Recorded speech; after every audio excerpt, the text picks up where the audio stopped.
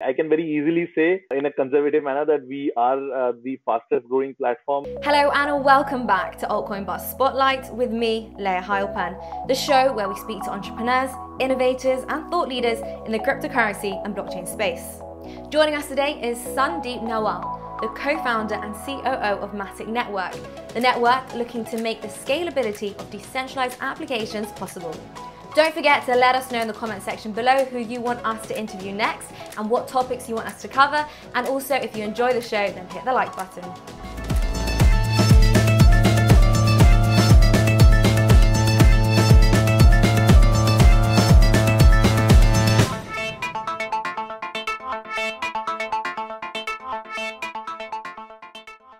Sandeep, so great to have you today. Thank you so much for coming on the show. How are you doing? Uh, thanks, Leah, for inviting me here. Uh, I'm doing good.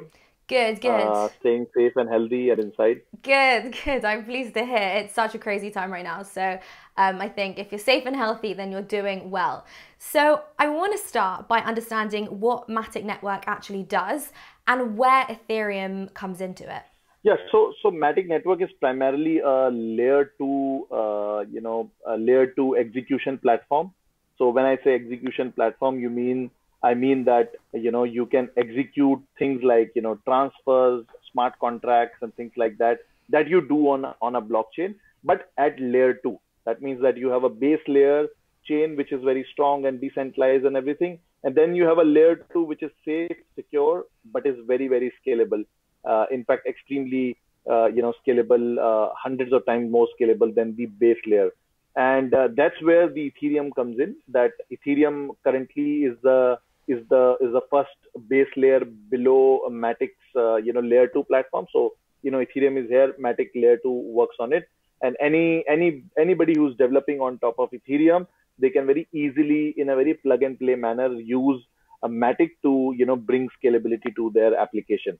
Yeah, and I think it's interesting um, that you've you know you're focusing on scalability um, because we saw what happened with CryptoKitties. So how many then apps are actually using Matic? So uh, in terms of the number of dApps that are coming onto Matic, we are you know already one of the fastest. Not like I can very easily say uh, in a conservative manner that we are uh, the fastest growing platform in that sense. And uh, you know we already have around 40 to 50 applications which are deployed on our testnet and our and our on our beta mainnet and we are still yet to go into the public, uh, you know, full uh, mainnet. And I think that that number is going to be exploding from there. And also, uh, one of the bigger things is that uh, you know most most of the uh, like many larger games, I would say that the leading games, leading dApps in the space are interacting with us in some form or the other. And uh, you know, for example, virtual spaces uh, so we almost have all the top players in the virtual, uh, you know, space uh, building on top of Matic. So, for example, we have Decentraland, we have, you know, you, you, know, Somnium Space, which re- who recently declared that they'll be moving to Matic. We have, uh, you know, Sandbox up and coming, one of the largest space in this. In this. So that way, like in terms of adoption, we are seeing a pretty huge wave of applications who would be using Matic soon. So a lot of expansion there, um, clearly. But I want to understand why um, decentralized applications are actually important. Because when we look at um, decentralized finance, for example, we can sort of understand, well, you know, it comes down to having that autonomy and, you know, getting rid of centralization of central banks and all of those sorts of things. But why do we need decentralized applications? Yeah. So see, one of the biggest thing is like, and and and an easier way to understand that part is that, uh, you know, if you see uh, one of the biggest problems that uh, the, the, the, the, in this in this information age the data related problems that have happened uh, you know like for example the uh, the cambridge analytica kind of problem uh, which happened where facebook was actually selling your data uh, similarly for example yeah. on gaming so recently there was there was a situation where you know one particular prominent gamer on a platform and you know when i say gamer gamers spend a lot of time of their of their lives uh, you know into their games. It might sound for non gamers it might sound that oh it's, it's at the end of the day it's a it's a game. But for the gamers it's actually their second life. And uh, you know the gaming industry anybody like everybody knows and there's a netflix documentary on that that it's it's actually bigger than the, the entire of like Hollywood and you know NFL and then you know the bigger sporting industries of the US combined, right? So it's a huge industry, and there these gamers have a lot of in-game assets and uh, mm. you know in-game currencies and all that, which they earn over months and months, at times years uh, of hard work on that and playing the, those games. And then recently we had, uh, you know, re- not recently, in fact, there have, there have been multiple times that there have been scenarios where uh, you know somebody did something and then the gaming organization banned the user altogether and you know years and years of oh, his, wow, his, okay. his, his uh, you know uh, earnings on that game you know suddenly are fortified and all that. So that's kind of a very centralized behavior. Similarly I, I talked about the data. For example you know we have all our lives actually in public with the you know the the, the sites like facebook and and things like that.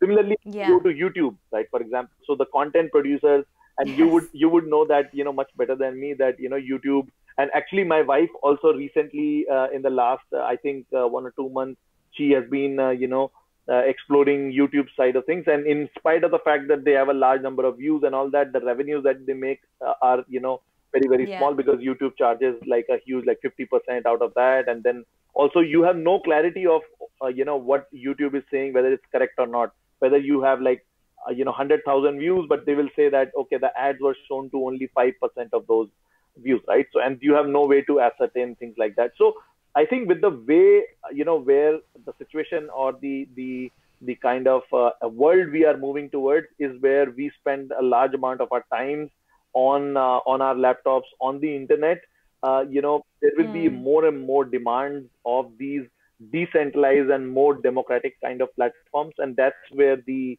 decentralized applications come into play Yeah, absolutely. And I think right now, as you mentioned, YouTube, it's just such um, a key issue. We've seen um, a lot of YouTubers, with, um, you know, they've had their life work kind of deplatformed. Um, so, uh, yeah, so I think it, it becomes particularly important right now. And um, interesting to think, you know, a lot of assets as well on gaming um, sites and things like that. Um, you know, you want to have that autonomy there. So it's it's similar, as you say. Then um, it's pretty much fighting for the same fight um, as finance. Correct. Then, um, looking at mass adoption, then, because mass adoption is something um, which you guys are really interested um, in tackling. So, what are the um, what are the issues against it? What are the hurdles stopping mass adoption, and how do you guys actually plan to um, fix that? Yeah, so I think the biggest hurdle, uh, and and in very simple terms, it's user experience, and you know whether it's scalability, whether it's the transaction cost, we believe that all of that falls into the uh, scalability uh, paradigm. So, like, sorry, the the user experience uh, kind of situations or the problems with the uh, with the user. So, at the end of the day, because you know nowadays even my mom uses a pay payment application like you know in US you have Venmo in India we have Paytm Google Pay things like that. And uh, you know they are they are getting used to that that uh, those kind of apps. And even us we use all the centralized apps and we, they have a superlative user experience today. And if we are asked to switch to a you know to a DApp or a decentralized application which has like you know not even half the good user experience that we had today and uh, Mm. you know with other applications they're not going to use it. And then you know let's say there was a decentralized twitter and if you ask me that uh, you know i have to pay uh, 20 cents or half a dollar to just make a tweet i'm not going to use that right? And then that too Yeah, you know even when i when i spend that money i have to wait for one minute before i am confirmed that okay my tweet went through. Uh, you know things are not going to uh, going to pick up that adoption. So that's where we uh, you know our endeavor is uh, we, we we strive for providing the scalability which is the fundamental reason why this user experience goes for a toss which includes the scalability includes your you know throughput throughputs like how many transactions you can do within one second. Like the apps can have very massive traffic and they need their transactions to go through. Second it includes the uh, you know the turnaround time. Like for example uh, like on ethereum or any good blockchain like bitcoin takes 7 minutes but even ethereum it takes like 15 to 20 seconds to confirm a transaction. And uh, you know that Mm. is that's going to be uh, you know slightly uh, i mean that, that's not good for user experience. And the third thing is the transaction cost. Like you know even when you have we have some sort of uh, you know uh, congestion in the network the transaction costs costs shoot up to like you know one dollar two dollar per single transaction. So all three Yeah. areas matic provides a huge uh, advantage for the applications. And then applications can actually focus on building their user experience rather than worrying about uh, these things. Yeah, and I totally agree with you, um, particularly when it comes to user experience, because it's something I just seem to be having the same conversation over and over again. You know, I'm having trouble with this. This isn't clear. Why is this happening? This is taking so long. Yep. Um, and absolutely, you know, I'm somebody that's already in the space and yep. I'm having a difficult time. Um, so absolutely, I can't imagine people looking to get into the space thinking, wow, you know, w- what is attractive about this? It's just almost too difficult. Yep. Um, but looking at mass adoption, just sort of sticking with that for a sec, because Matic actually states that um, the current blockchain ecosystem isn't um, prepared for mass adoption. Um, so therefore, you guys um, looked at you know scale it as explained. But how necessary do you think this actually is, given that mass adoption seems to be quite far away at the moment? See, I mean, I am actually not a very big subscriber of that uh, because you know we have been in the last in these kind of uh, you know kind of uh, state of adoption currently for the last two to three years so it's natural to you know for for for for the normal people and especially the people who are invested in the space uh, you know to feel like oh the mass adoption is not coming. But i feel that you know we are closer than ever to achieve those things. Uh, and also like interestingly even with the with the iphone like the iphone apps and android apps like i think they came into the space like 2005 2006 2007 ish uh, 2007 ish uh, I, I think. And then you know only the, the number of apps and good apps actually started exploding only in around 2010 2011 where everybody started thinking that okay you know yeah. now we need we, you know apps apps are the new thing. And then it was like a kind of a exponential curve. And i think you know we are still in that value discovery mode in in decentralized applications. Uh, so i feel that one is that. So it takes time for the applications and the developers to discover those value you know values out of it. First is that uh, uh which adds a lot of value to the end user. Secondly a simple statistics is that any successful app on any mobile platform be it iphone mm. or uh, you know android it's actually the ratio of successful applications is around 10000 to 1 and if you see the the whole of blockchain space there are in total, you know, not more than 5,000 applications. Yeah, so if you see that there are not many developers, like, you know, forget about the la- uh, users later on, but there are not many developers developing that kind of application first in the first place. So first is that we need some winners in the space wherein some developers, some particular applications goes really viral. Like CryptoKitty was a big thing. Like once CryptoKitty, you know, came in, the whole gaming space you know completely changed everybody started thinking that oh this this can be the next big thing like so you need winners like that and now in the as i said that we are more closer than ever we have the developer tooling we have the scaling solutions we have the user experience solutions over there. Now it's about time for you know some of the developers to come up with killer apps. And i think in gaming space it's already happening Okay, so definitely important just because of how quickly the space is growing um, and all the new different types of games that you said are going to um, be needing this sort of technology um, as the next few months and even years go by. So I do want to go back just a second and talk about user experience um, because you guys are, of course, focusing on that. You have your own design studio, um, but it seems so obvious, doesn't it, that user experience is just that important. But why do you think not a lot of people are then tackling this? Yeah, because see, first of all, uh, they, you know, there have been attempts. Like it's not like people are not worried about this problem. People are trying to do this, but blockchains inherently, uh, the biggest part is that they are very complex things. Like you have a private key, you know, public key. Nobody is your bank. Once you do a transaction, you know, it goes through. I think you know uh, there was a tweet uh, on on Twitter which went viral that you know somebody was saying that even if I have done hundreds and hundreds of those transactions, even now mm. when hmm. i'm when i'm about to do a transaction like you know it's kind of a heart attack kind of situation especially if it's a large uh, money uh, transaction because there is no you know there's no recourse to to to any kind of fault right so you know those kind of things are inherently uh, problematic the management of keys and all that problematic because you are your on your you are your own bank so you have a lot of responsibility but then again the tech needs to solve that so you have solutions like ens where rather than using an address, you use a particular, uh, you know, you have your address book, you have ENS names where you select uh, the names just like you were selecting from your contact book. So things like that are, are being worked out. The second part is that because the earlier, uh, you know, kind of applications were more like wallets and money kind of applications, and you have you had more like traders and all.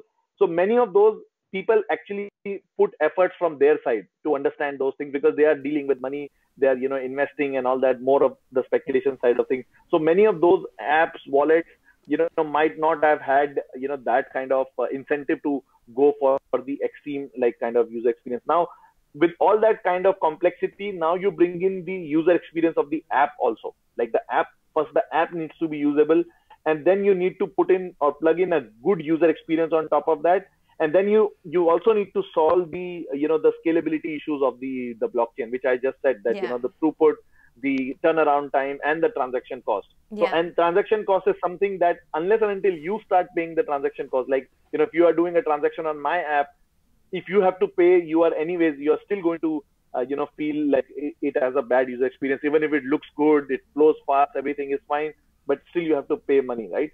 So, but now there are multiple design patterns. For example, meta transactions, wherein the end user doesn't need to pay for their transaction. The the business owner actually plugs it into their business model, and then the then they pay for the gas fees.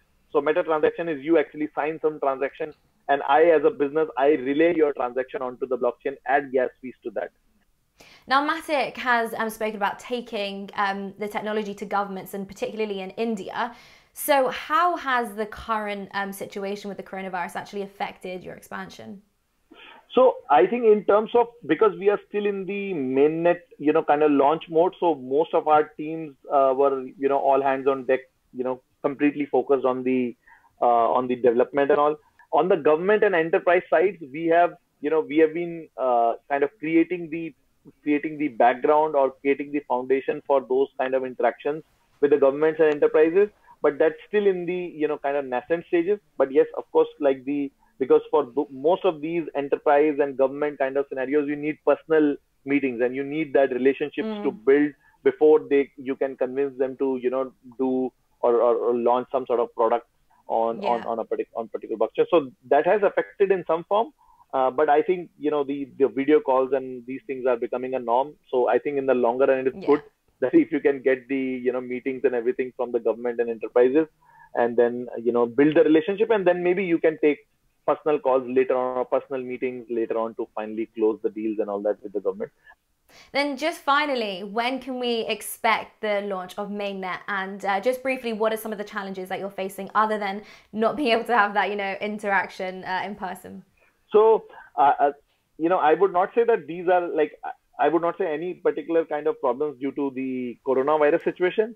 I would say that we were, you know, for our mainnet launch, we, we yesterday uh, only we closed our stage one, which was, uh, you know, kind of a incentivized testnet program wherein public, you know, validators come and they run the nodes and you know we try to find problems so that before we go to mainnet we have very thoroughly tested the network so there was a stage zero, stage one, and, and now we are in stage two. So stage one took quite some time for us because, you know, uh, due to the coronavirus situation, many people were, you know, not available. Uh, this was the time when, you know, we launched the stage one when the coronavirus thing was just exploding.